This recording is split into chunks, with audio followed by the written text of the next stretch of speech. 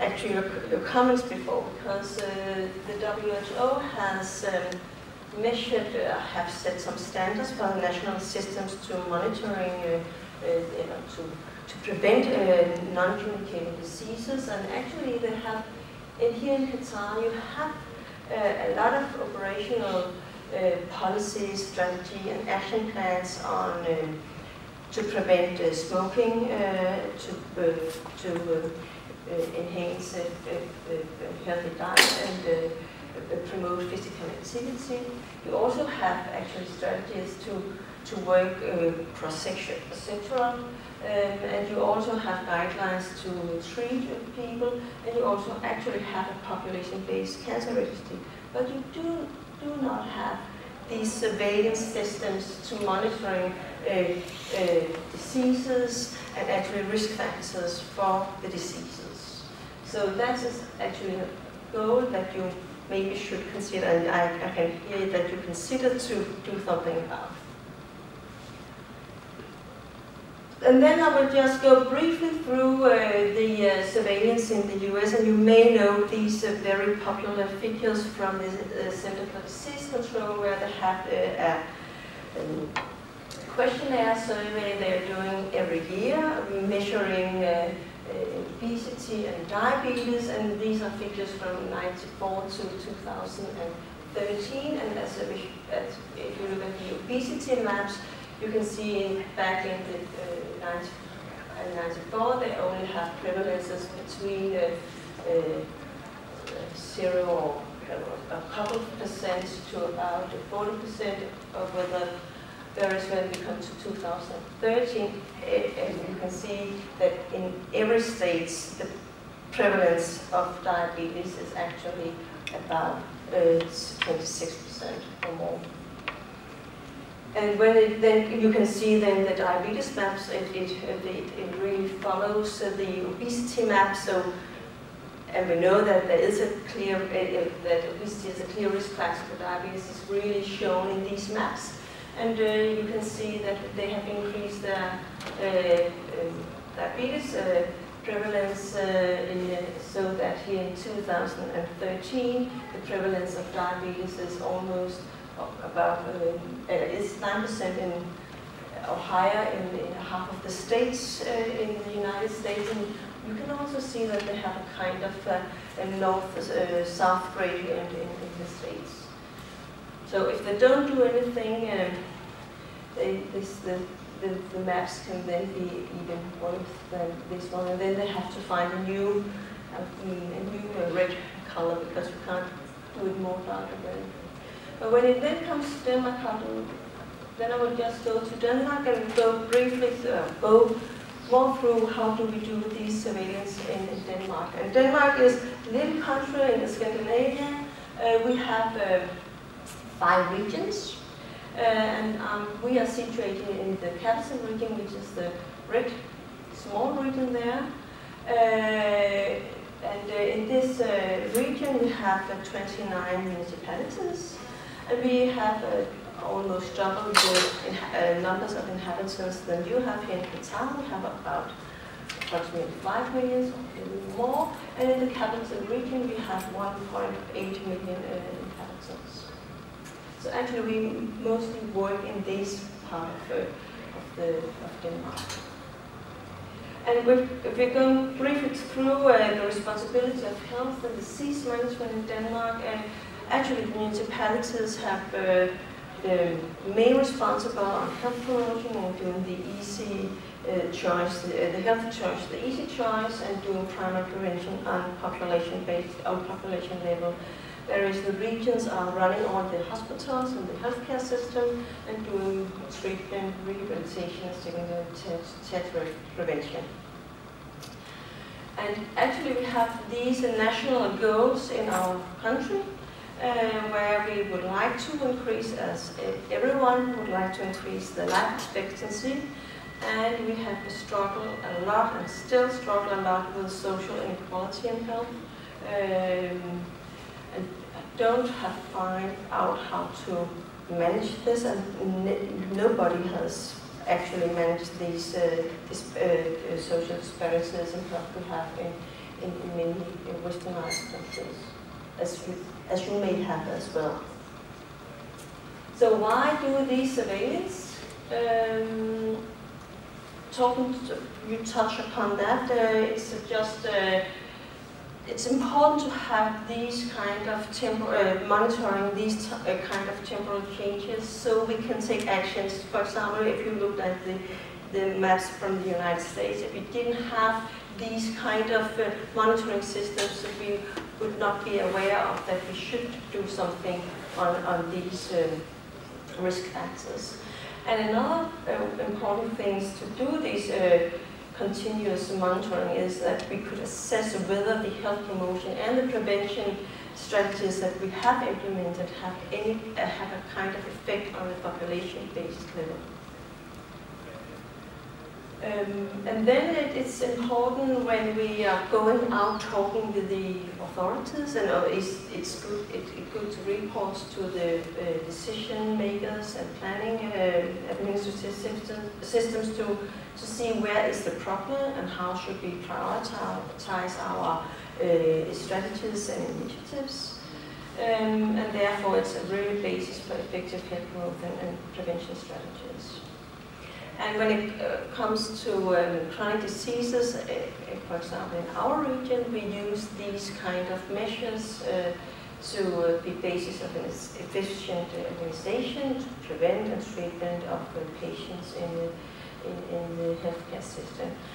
Um, and at the end, uh, these kind of data is also really fantastic research data. You can do a lot of immunological studies and, and looking into risk factors, but you could also, if you have these continuous uh, measuring, um, you can actually, uh, doing this kind of natural experiment uh, research where you can see, uh, look into uh, changes in risk factor distribution and also then uh, maybe collecting what's going on, which kind of prevention uh, strategies have uh, been effective on a population-based. So you can get a lot of information back actually to uh, in, in a research way into the authorities.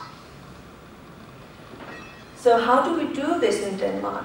We do have, um, yeah, it's a fantastic uh, area to live in in the Scandinavian countries because we have actually a personal identification number uh, which we are born with um, and, there, and we are registered in a lot of ways.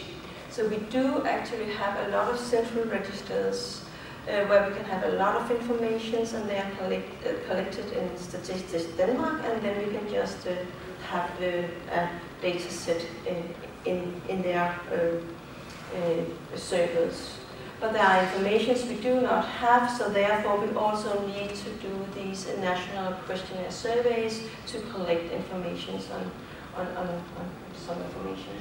So we use the central registers in Denmark uh, to uh, uh, have information on, on individual level, on socioeconomic factors, on administrative data from the hospital, uh, it's inpatient and outpatient uh, informations.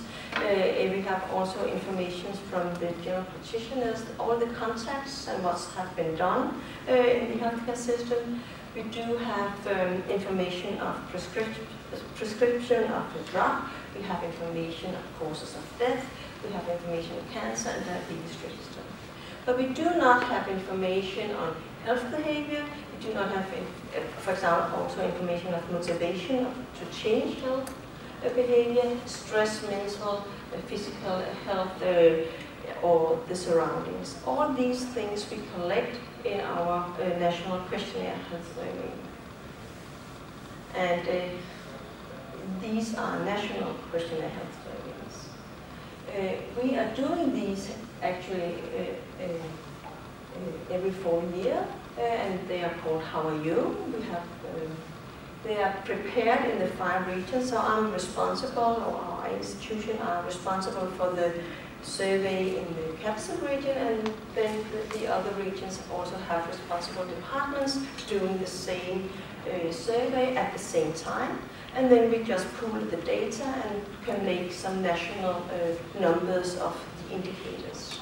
But then we in the regions can prepare our regional um, reports and go out to our administrative systems in our 29 municipalities or in our region to inform them of what's going on in their specific region.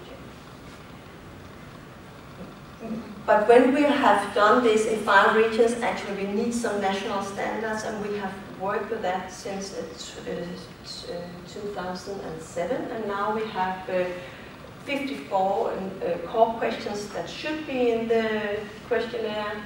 Uh, in our region, we then put in more questions because we have some uh, prioritizing things we do need to collect uh, information on. And then we have also standardization how to uh, collect data, uh, at which time of the year, what is the what is the sample size, how many reminders to send out, all these practical things which can actually affect your estimates. You need to standardize. And then also about how do you scan the questionnaire, how do you define the uh, main indicators and so on. And, and we do then send out 300,000 questionnaires every four years to the population of 16 or above. So, but in uh, then in the capital region, we have been in this since 2007, and we've done three questionnaire survey, and we're just starting on preparing the next questionnaire survey, which is running in 2017. We do send out a random sample of 100,000 uh, into 200,000 inhabitants, and we do have an, a participation rate of 50%, so which is um, quite normal in, uh, in our region, or in our part of the world, and think all over the world we have had these decreased uh, participation rates uh, during the last 30 years. But fortunately, because we have these central registers, we have the opportunity to see who responded on our survey and who did not respond.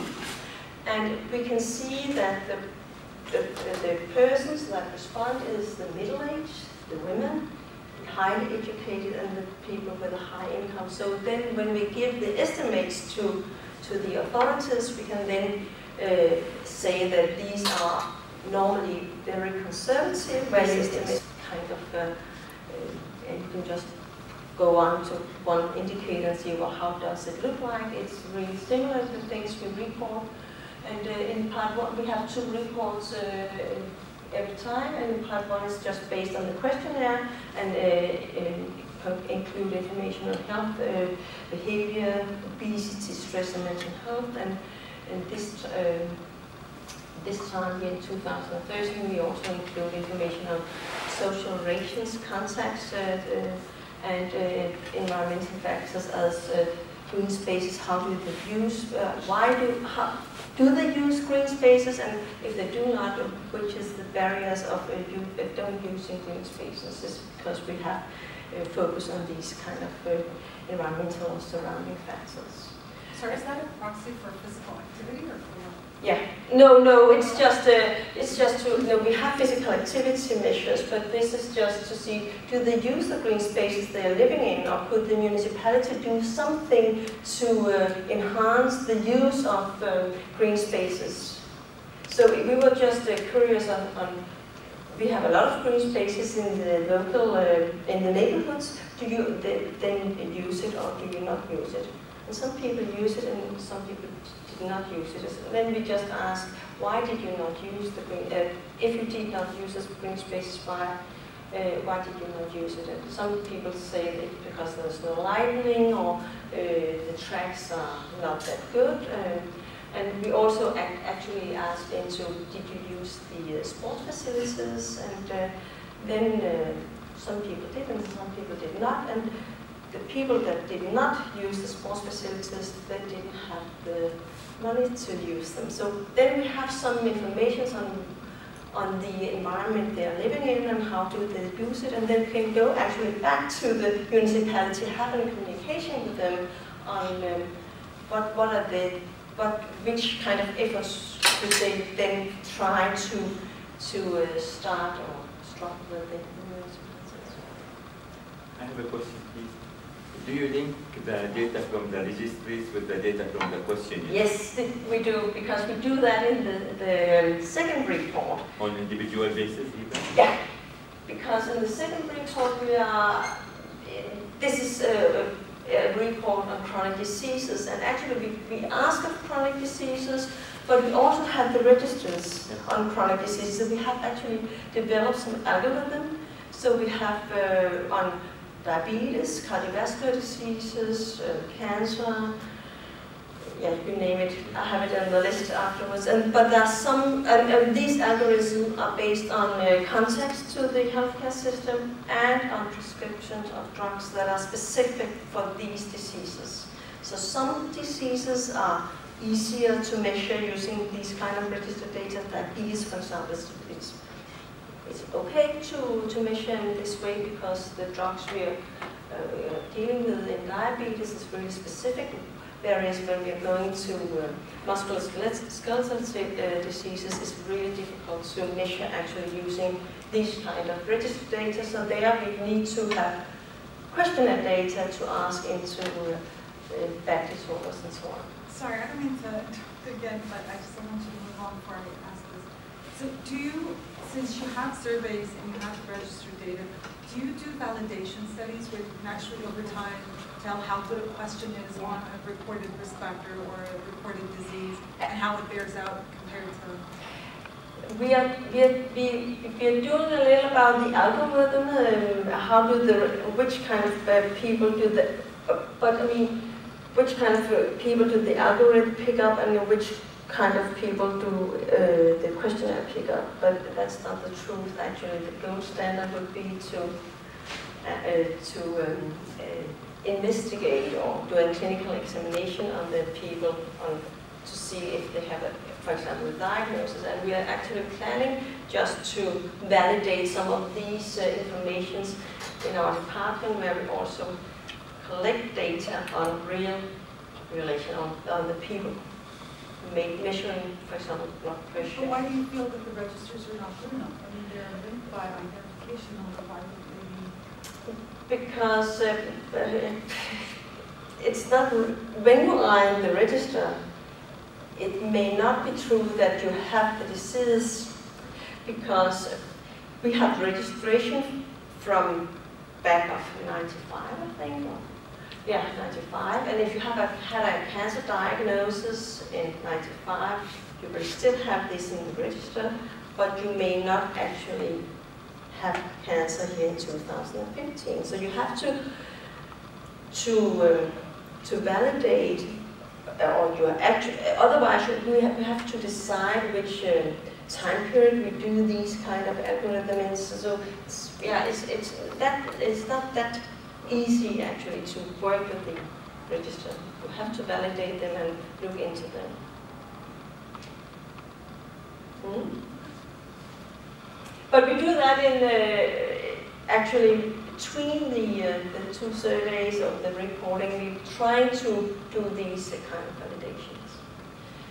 Um, and in these reports, we also um, report contacts to the healthcare system, something about economy for the healthcare system, and then we link the data on from the register and the healthcare survey to see to tell something about the general health among patients and the health behavior among patients. And we, as I said, we have these description um, and the focus on description on whom that are at risk and the develop, uh, to develop uh, non-communicable diseases, social inequality in health, and then geographical differences and, and inequality in health. And we do actually use this kind of proportional model in our reporting, so we look into all these factors, as actually Toby uh, went through in the last presentation. Um, and uh, when we are looking into social inequality, we do it on individual basis, where we primarily use uh, educational level as an indicator of uh social status but we also looked into uh, geographical, uh, socioeconomic um, differences, and we have uh, developed these uh, kind of municipality social groups of, where we use these uh, individual data uh, on the inhabitants and uh, uh, looked into the municipalities and uh, calculated the proportion of individuals with uh, low uh, educational level, uh, the proportion of uh, individuals that are outside labor market, and then calculate the mean income. And uh, uh, using these uh, three uh, indicators, we make a composite and uh, develop these municipality social groups where the light purple one is the, the, the group one, uh, where we have a, the, the, uh, the proportion of uh, people having a low education is low, the proportion of individuals uh, are with the, the outside labor market low and the mean income is high. And uh, on the opposite side, we have the deprived municipalities, which are the uh, orange uh, municipalities, uh, where we have a high proportion of individuals below uh, education, high proportion of individuals outside labor market, and then uh, a low mean income. And it's really important for, actually as a, a researcher and physician, we do know uh, that uh, um, that we have this social uh, inequality in health and um, clustering of uh, social, uh, uh, social inequality in health. But, but for the politicians and the planners, it's really important to have these kind of maps because when we then look at, at for example, smoking, we can see that it, it uh, we, we uh, here this is the daily smoking prevalence um, uh, in the in the region, and the, the, the more blue the darker the blue color, the higher prevalence. And you can see here you have almost the same color here. So here we have the down in the south, we have the most deprived areas, and there we also have the highest smoking prevalence. And uh, here I will just give you an example of uh, how we uh, reporting for the individual uh, factors and the indicators. And here, this is age, uh, where you can see that uh, uh, daily smoking increase with increasing age or decrease after the year of 65 because then the smokers are dead. And when it comes to education, which is uh, this one, uh, here you can see that,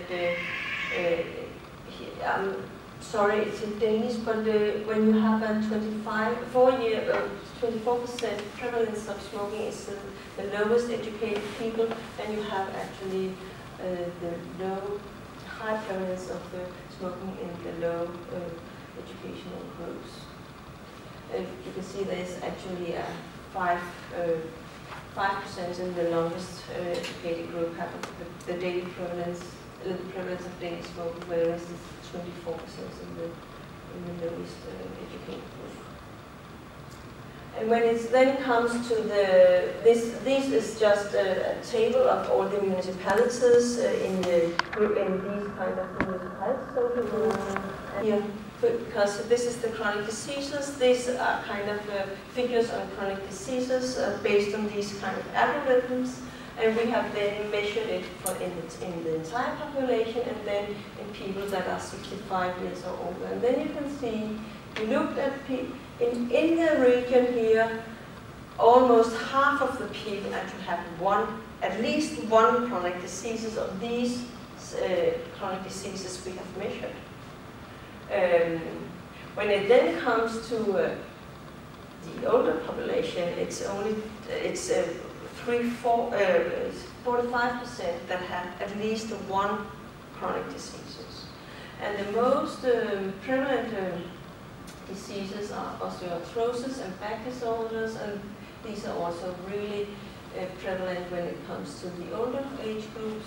And when then looked at diabetes, you can see if we look at the entire population, it's not that big a prevalence, but when it comes to the older ones, it's of course higher. We know that because of all these, uh, we are getting older and we have the risk factors that are also increasing high but we have also then tried to give some information on how many people do live with more than one disease.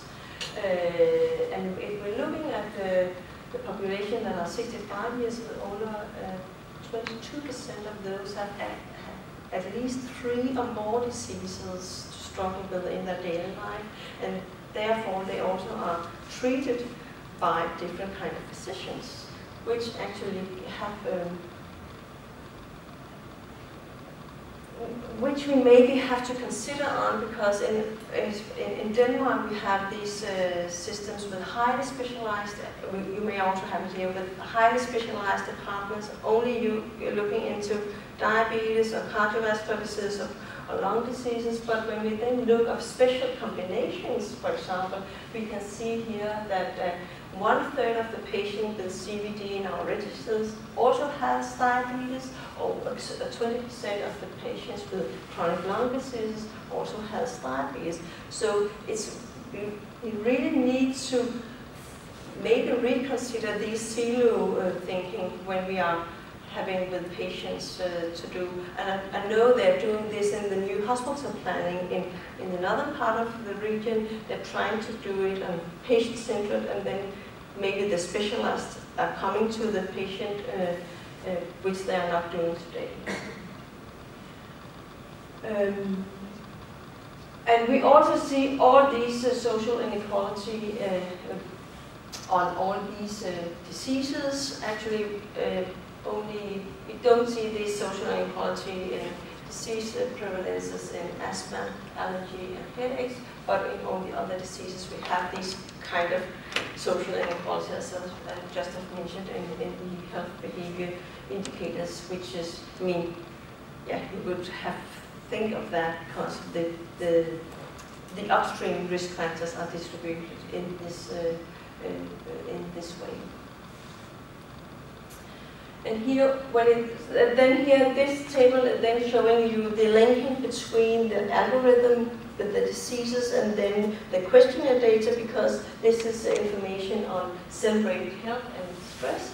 And you can see here that people uh, with chronic diseases have, of course, a higher proportion of low self-rated health and uh, actually also a higher level of stress compared to people without any chronic diseases in, the region. And when, then when we then come back to health behavior and motivation, uh, these are uh, health behavior on daily smoking, uh, alcohol, unhealthy dietary habits, and physical activity.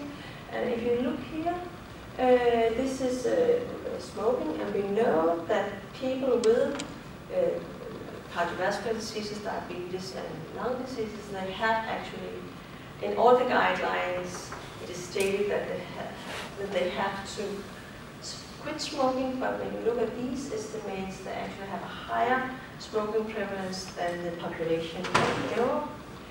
Uh, and actually it's the same picture for all the other behaviors that it, when it comes to people that have the chronic diseases, they are at least as unhealthy as the general population. But then you can then have a question, are they not motivated to change behavior? No, they are motivated. Here you have the figures for smoking. They are almost as motivated as, as the um, people with no chronic diseases.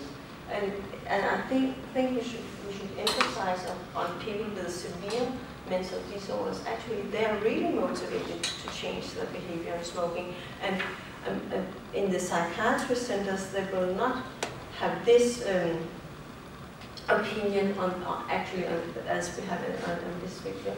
And this is the same figure for unhealthy dietary habits and physical activity. But again, when it comes to alcohol, they are not as motivated as for the other behaviors as also mentioned. But again, people with severe mental disorders, actually 40% of those that have an unhealthy behavior in alcohol are motivated to change their behavior. And then you can then have a question uh, for yourself and why can we then not change the behavior? And again, you can talk to them, but when they are going out to the surroundings that are not um, um, uh, yeah, that, that, that, are not stimulating the healthy um, uh, living, Uh, they cannot uh, live healthy as all the other, uh, as all inhabitants, inhabitants cannot do. But that's a little bit counterintuitive, isn't it? That people who have diabetes and heart disease and so on are actually less motivated to change their behaviors. Although you think they would be scared in a way and would want to eat better and, and so on, right? Uh, but, but maybe it's because we have a selection when we have these disease people, people because the people that is really motivated and then have a disease, they will just quit. So we have not looked, maybe if you look into with, uh, which kind of smokers do you have here, uh, they uh, I mean, they are, these smokers are, can be different than uh, in, the population in general. I mean, here you will also have uh, more people that are uh, with the low educated, with the low socioeconomic status, and know that we have, they are more difficult to, to change and more, and maybe are not they are also going, uh, and they are actually, then we're coming back to their living in surroundings, so in environments where they actually are smoke, smoking with their friends, and therefore they are maybe less motivated than uh, in, the population in general. We do not know, but it, it could be one of the explanations. There is a clustering of biological and social risk factors actually in these areas. What? There is clustering Yeah. between social and biological Mm. areas. So this was the last slide that um, actually we, uh, we do need this kind of systematic and continuous monitoring of chronic diseases and the upstream risk, risk factors for chronic diseases because these are really important uh, for guiding the authorities and to assess whether the public health move in the uh, right direction.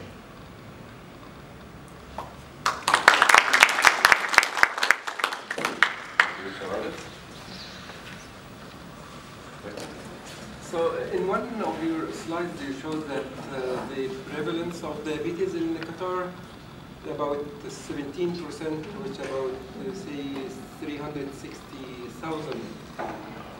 This So actually, calculated by myself. I, I think that uh, the Qatari population is about uh, 250,000 only. So is that uh, suggest that um, that No, the no, I- expat, I- the expat also can diabetes when they The problem is that actually the prevalence figures are not actually from Qatar, that these are from the region. And, and, and this is really important what we pointed out just before, that we really do not know whether these figures are the right ones. You really have to take these figures with kind of uh, uh, certainty. Um, uh, and this is also stated actually in all these reports, but if you don't read what is written with small uh, figures, then you, you, you, think these are real figures, but they are not real figures. How do they not real figures though? I mean, Qatar has the, they implemented the STEPS survey, and that's a surveillance tool for risk factors and for reports of chronic diseases, and sixteen percent sounds about right. I think what happens is you just apply the sixteen percent to the general population, Right. as opposed to only the Qatari population, but sixteen percent That's is right. about right. Yes, and also 20 maybe in Saudi Arabia. It's a very, you right, this number. And it's much actually- less the controlled population. right. Yeah, but that. Just the pure Qatari people, not with the expat, because the 360 will include other people that, that come and visit here. And they're Yes, of course, yeah, even- But also it needs to be, sorry to interrupt, it needs to be age standardized Yeah. because the population structure among Qataris is very different than expatriates and giving it such standardization. But are you in the process of doing this kind of surveillance? It's been done. I mean, they, first there was the World Health Survey, and that was a few years back. But um, in 2012, they implemented the first uh, STEPS survey according to the WHO methodology and, and um, a standardized procedure and so on. And that's going to be done on a continuous basis. So for now, it is the source of of surveillance. But it's not written actually when we are doing. No, but uh, actually, we did find this when we looked into WHO's uh, website, so that's why I was just telling this kind of story. We don't have, actually, in UAE, we are running for the last three years, big national epidemiological study to come up with the prevalence of diabetes. Because all the figures, even the WHO and everything, were not based, you have to go to the regional literature and what has been published about this, how they were generated and the sample. Yeah, but those are measured data, Doctor. Sorry? The stepwise in Qatar is measured data, they, they did the study here. And it's a And standardized essentially, study it's stepwise comparable, three, it's so standard actually in the- everywhere in the world, Yeah, maybe in Qatar, but still in the region. not all countries. yeah. That's when it was, I think, step three, so Yeah. biomarkers. Yeah. Yeah, including measured, it's not only reported. Now, I, I have a question. Uh, what, uh, what's, It was first, actually. what's WHO came with, uh, that there is a big problem in reporting death from diseases and the death certificates, like uh, coming up saying cardiovascular Mhm. diseases has been written in some death certificates, many death certificates in different part of this region, like its ultimate uh, uh, pathway or, so it has inflated. Uh, So the death certificate is an important data source. Do you look into reporting the diseases? How? No, I didn't go so deeply into that, but I think we have discussed this with the, the, it's, it's difficult to actually bring the right diagnosis. And in Denmark, for example, is the youngest doctors doing these kind of uh, certificates, and uh, maybe we're not uh, have educated actually the physicians enough to write the right diagnosis in the death certificates. Because it's one of the main sources, I think, Mm. of uh, coming up with this uh, data, isn't it? And, uh, so what's your definition of chronic disease? Because I Yeah. have seen Yeah. here uh, some uh, These definitions are from the Danish uh, government. These are the, the, the chronic diseases they have um, focused on. So, um, I mean, WHO has another definition, uh, but it should, I don't know, it, um, we only collect these uh, diseases as um, Denmark has focused on in these kind of report. But when you, if you, um, uh, as I remember, WHO has a, a longer number of diseases, uh, uh, and if you then have these kind of diseases, you will have, uh, these, uh, when you're increasing the number of diseases, you will also have a higher proportion of people living with multiple diseases. And now it's your turn. Thank you very much. Just two comments um, and probably one question. That we, we have to treat these statistical data, especially from Qatar, yeah, very, very carefully. If we are, if we are watching the percentage of injury and the, the um, sudden cardiac death or uh, cardiac disease, when we are watching under 60 or above 60, Mm. there is a huge difference because it is related on the Qatar- Qatari population and not only on Qataris. And in 2012, the data came from WHO. But after that, there was a publication in 2014 when the obesity ratio uh, was shown again on the whole Qatari population.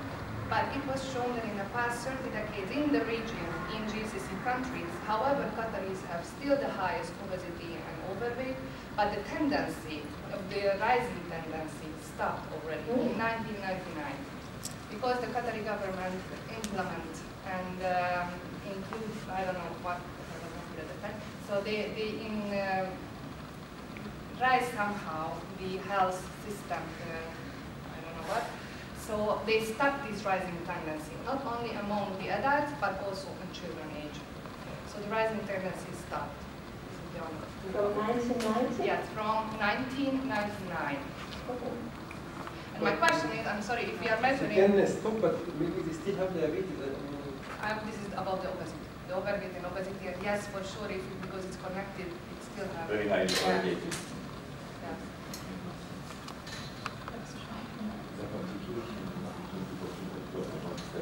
Yes, Uh, it was the the- actually the, the the global Yeah, but if prevalence. of- They take a lot of steps time to publish it. for- Yes, it was very- the last thirty years.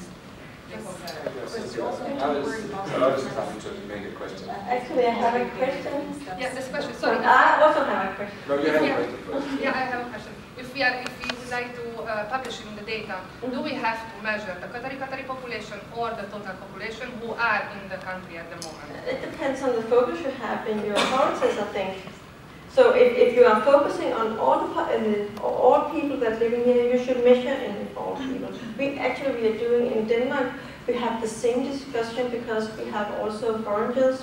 It's about uh, eight percent in, in our region, but in other regions it's only one to two percent. So we are out actually discussing whether we should including these uh, uh, immigrants uh, in our population. But we agreed on doing that because in some of our municipalities, it is 25% of uh, inhabitants that are from outside uh, or with another ethnic background in, in, in Danish. So that therefore we uh, have uh, included these in our estimates. So it depends on your focus, but can I just ask a question? Because where do you collect these kind of survey data? Do you have it central so you can go in and uh, in one place and central so you can t- look into these kind of temporal changes and have this kind of systematical way to work with it? I, I don't work for the Supreme Council for Health, but they're the ones who are responsible for the STEP survey, and before that, for the World Health Survey. Do they make the raw data available? I don't think so. Um, so I don't think that it has yet been established as sort of a very, um, continuous source of data, but it has started. I mean, the STEPS was a good start. Now it depends on when they do the next one and Mhm. how they make the data available, but they don't make my first available. And as far as I know. Does Uh, last comment, I read, I was reading that uh. Danish, Denmark, they have the, they are the happiest uh, citizen of the world. Not anymore. No. Uh, Australian just uh, have beaten us last year. We are next happiest. So how do you measure happiness? Yeah, um, it's not us in the health sector that is measuring happiness. I don't know where they It's have called- these It's figures. Kåre Christensen in Denmark, who who was uh, together with the international group. And they have measured that for many years by certain questions. I don't remember the questions anymore. But we actually started to be the best after 1992. And why did we be that? Because we won the European Championship in football. And we defeated the Germans. And after that, we've been the happiest people in the world for many years. But now, last year, Australia took over. I don't know why. But maybe it's- winning it could be anything. anything, ab- uh, it could be something with social capital, for example. We have also measured that in. But you measure depression and measure depressive disorder. And disorder. stress disorders, yes. You can look at it from that angle. I don't know if it's related to alcohol consumption, happiness and Yeah, maybe they were too drunk all the time. That's what Kåre Christensen also says. Yeah. I would like to turn the discussion around. Uh, in the presentation this morning, we were asked with the question, where does the Muslim values fit into this? There was a bicyclist in Copenhagen that was not nicely dressed compared to codex of uh, Muslim uh, behavior. Uh, would it be easier to implement advices based on Muslim values or on Western values? What is your, what, what, what do you think about that? That's a difficult question. So uh, actually, yes, we, we have actually based on uh, the religion here, like the, the Muslim countries, we have actually from Quran that uh, how we eat. Don't eat uh, so much. You don't uh, need to eat until you become full. You have like to eat like a third of this one will be food, third will be water, and uh, you not become completely, you know, full. Something like that. So there is something in actually in the religion that can be maybe applied to to live maybe healthy. That was also my, And my wish that we should find the way to, to root fasting also some healthy habits to the religious background. Uh, if we could find a good I don't know way if of we have evidence that Islamic-oriented advice works better or worse than Western-oriented advice. But I would just think that it would be impossible to implement anything that was not in accordance with Islamic uh, teachings. Do you see what I mean? Yeah, So yeah. we don't know for sure if people are more motivated by certain perceptions or body images or practices or whatever, more so or less so than with religion. I think that the idea of always, you know, let's incorporate religious men and women and so on, I think that's sort of classic public health advice about always go for the key figures in a community and religious figures or key figures. I don't know that anyone's actually evaluated its effectiveness, but it's not possible to do it without them. Do you see the difference? I don't know if that's. Yeah, Tom? We don't have many pe- people uh, belong to Islam in Denmark, but uh, we have Christian people. And one of our researchers one day took one of our old cohorts, looking at where we put the questions whether they believed in a God, whether they went to the ceremony, and Sundays and so on, and all these kind of things. And then he compared the sur- surveillance and chronic disease development, taking all the risk factors into account we knew from the cohorts. And they actually had less cardiovascular diseases and they lived longer, those who believed in, in a God or